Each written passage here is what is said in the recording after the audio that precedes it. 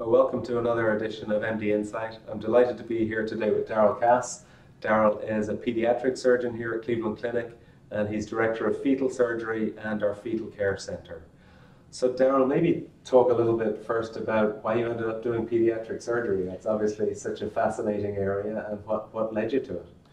Yeah, that's a great question. So, um, I always was interested in kids. I was a, a college student at Stanford, and uh, during summers, I would often coach kids in sports camps. I played baseball on the team and, and was involved in sports throughout.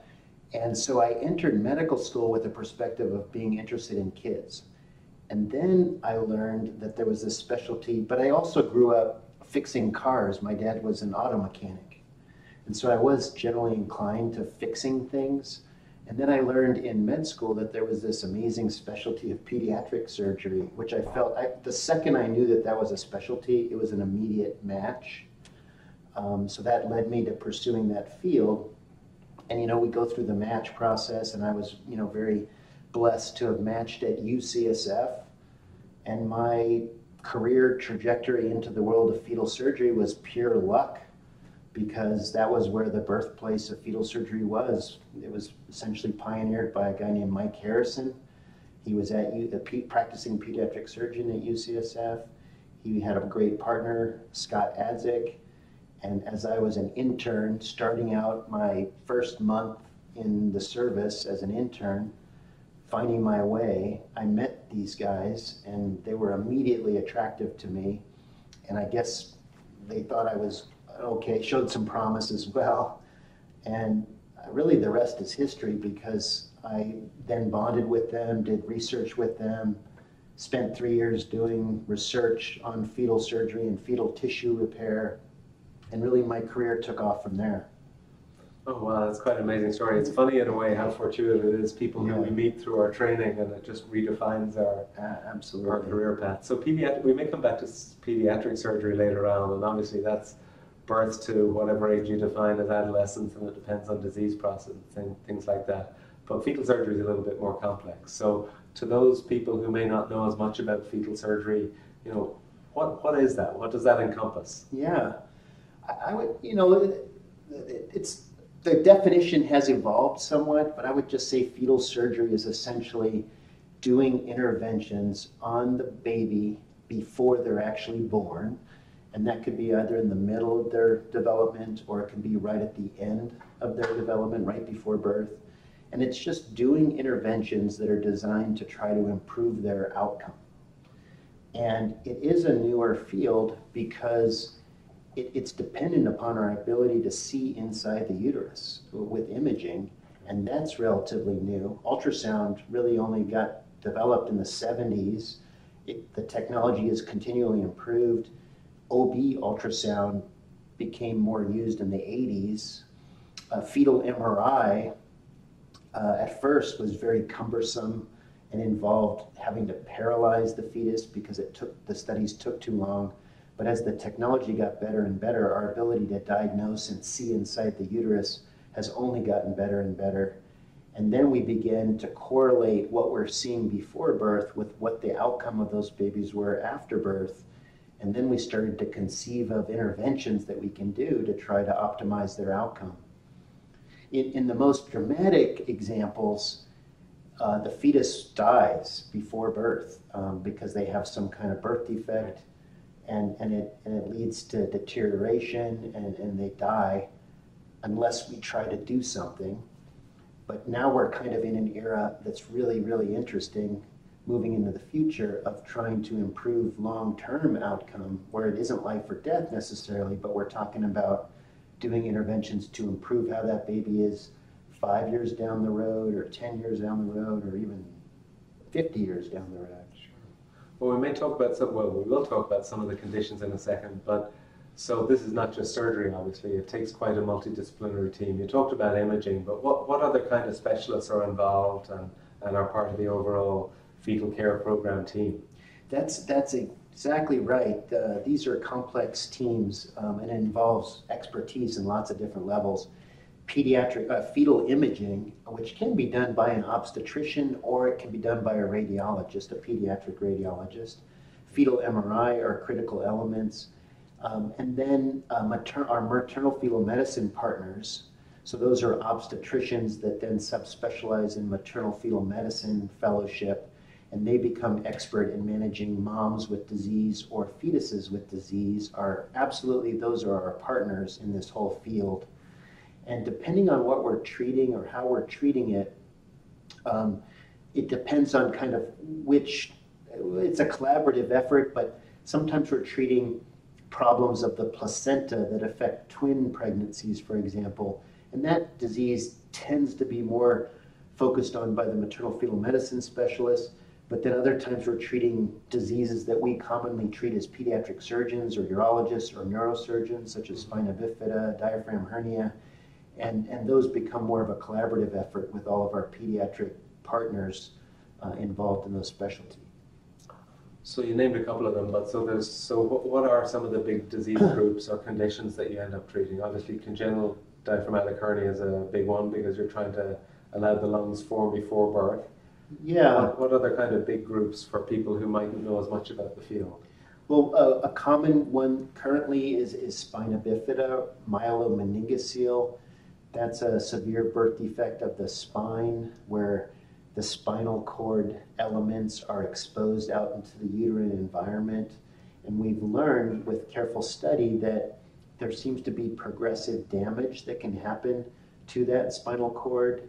And we see the fetus have deterioration in function because of that.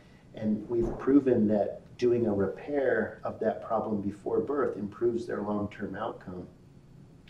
Um, another common condition is called twin-twin transfusion, which is a problem of the placenta for uh, monochorionic diamniotic twins. Okay. Um, and the problem is they share blood vessels, and uh, the best treatment for that condition is actually to do laser photocoagulation of those communicating blood vessels. And that was also tested with a prospective randomized trial that proved the benefit of that compared to other ther therapies that we can do. And you mentioned diaphragm hernia. Um, currently, that actually remains, that's a very exciting uh, area of, and it's one that I'm particularly interested in moving to the future. But currently, it is still experimental. Um, there are two random prospective randomized trials that are ongoing currently in European centers where we're studying fetoscopic endotracheal occlusion, where we, we use put a little scope into the uterus and we deploy a balloon in the trachea, and that balloon blocks the trachea. The lungs make fluid during their development, and by blocking that fluid egress, the lungs actually blow up, pressure builds up in the lungs, and that helps the lungs grow and expand, we think. Uh, but we're testing that compared to not doing that before birth. And I believe we're going to have some answers from those trials in the next year or two. And uh, we here at the Cleveland Clinic are excited to begin participating in all of those therapies. Yeah, yeah, it's very exciting. And so then the, the treatments that you do, depending on the conditions, the techniques you also do are pretty cool. So some of it you go transuterine and some yeah. of it you'll open the uterus. Do you want to talk a little about the different approaches? Because it's so exciting and technically phenomenal. Actually. Yeah, there's there's cool different things we can do. Uh, sometimes we can do interventions that are purely ultrasound guided, so the mom can just get a little sedation, local anesthesia, and use ultrasound and put a needle in, or put a shunt in. Uh, through a needle, like a trocar needle system, a Seldinger type technique, where we decompressed fluid that's accumulating in the bladder and the chest and the abdomen sometimes, and that can help improve outcome or rescue babies that might be suffering for a particular condition.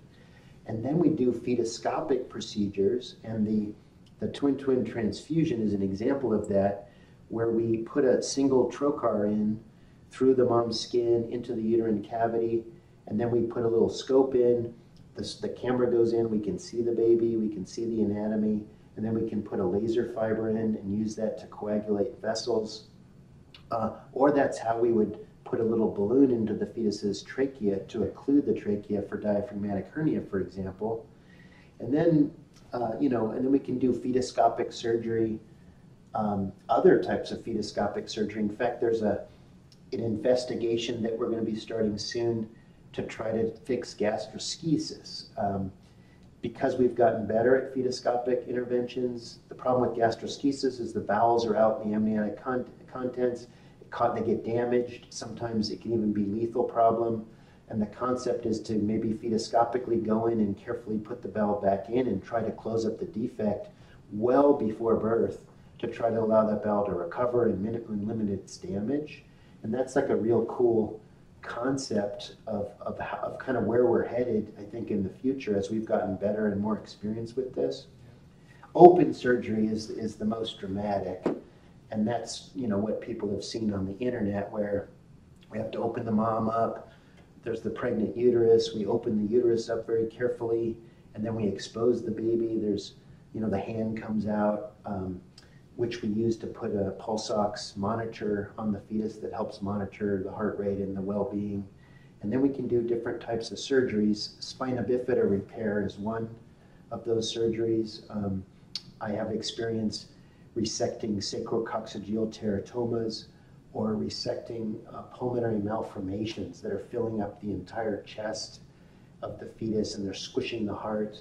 And if you don't do anything, the fetus can die. But instead, we do a fetal thoracotomy, we remove the tumor, close things up, and then allow the baby to recover. And remarkably, those kinds of interventions work. And the fetus can be born and can be completely normal, like and develop normal, play t-ball. I saw one fetus that had that was dying from a tumor with high output physiology, and I saw her at four years of age hula hooping and singing karaoke, karaoke to Taylor Swift at the same time while she was hula hooping. And actually, brought tears to my eyes because it was so amazing. Because I, I recall vividly yeah, operating sure. on her yeah. when she was 24 weeks developed. Oh, that's truly quite incredible. Yeah. Remarkable stories and remarkable techniques. Uh, thank you. I mean, this insight is fantastic. I've certainly found it interesting, and I knew a little bit about the field already. How do people get in touch? Is it should they talk to their OB, or do they contact us or the program or you directly? Or I mean, what would you tell people who aren't sure what to do and have conditions they're worried about? Yeah, uh, the best way to contact us would be to reach out to call the number of our fetal care center. We have amazing uh, nurse coordinators, Carrie Budzar, Sue Grodzinski and our newest member, Sandra Keene. Uh, they will answer the phone and answer any questions, and they'll start the process of, of creating a consultation or an evaluation. And, and we're happy to do whatever is necessary simply to help. Um, it, it, could be a phone call if a family is interested in information. It could be I can provide recommendations, you know, depending on where they live. Yeah. If there's more uh, closer uh, centers that might be appropriate, but of course, we're happy to help in any way that, that works for any, any family or any referring provider. Super. Well, Darrell, thank you very much. I really appreciate taking time to talk today. Thank you.